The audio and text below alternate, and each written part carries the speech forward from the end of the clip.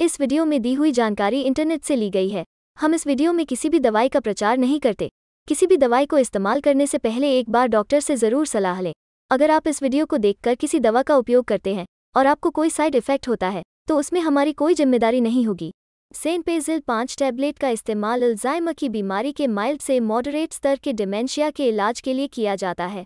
यह एक बढ़ती बीमारी होती है जो धीरे धीरे आपकी मेमोरी और सोच पर असर डालती है। यह इस बीमारी का इलाज नहीं करता है, लेकिन स्मृति, सतर्कता और अन्य लक्षणों को ठीक करने में मदद कर सकता है। सेनपेजिल पाँच टैबलेट कैसे लेना है? इस बारे में आपके डॉक्टर आपको विस्तार से समझाएँगे। आप इसे खाने के साथ ले सकते हैं। अच्छा होगा कि रात को सोने से पहले।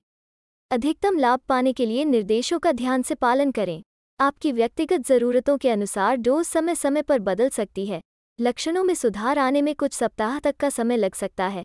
तो अपनी दवा को नियमित रूप से लेते रहें। डॉक्टर से परामर्श किए बिना आपको इस दवा का सेवन बंद नहीं करना चाहिए।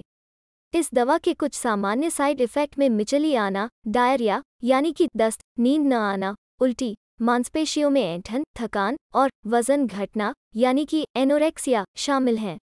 अपने आप को हाइड्रेटेड रखने के लिए बहुत सारे तरल पदार्थ पिएँ। इलाज की शुरुआत के दौरान या जब आपकी खुराक बढ़ाई जाती है तो आपको अक्सर साइड इफ़ेक्ट हो सकते हैं। आमतौर पर, जैसे जैसे आपके शरीर को सेनपेजल पाँच टैबलेट की आदत हो जाती है, साइड इफ़ेक्ट धीरे धीरे दूर होते जाते हैं। अगर वे गंभीर हैं, या ठीक नहीं हो रहे हैं तो आपको अपने डॉक्टर से संपर्क करना चाहिए। यदि आपको कभी भी हृदय की समस्या, पेट में अल्सर, मिर्गी या अस्थमा रहा है तो सेनपेजिल पाँच टैबलेट का उपयोग करने से पहले आपको अपने डॉक्टर को इस बारे में बताना चाहिए।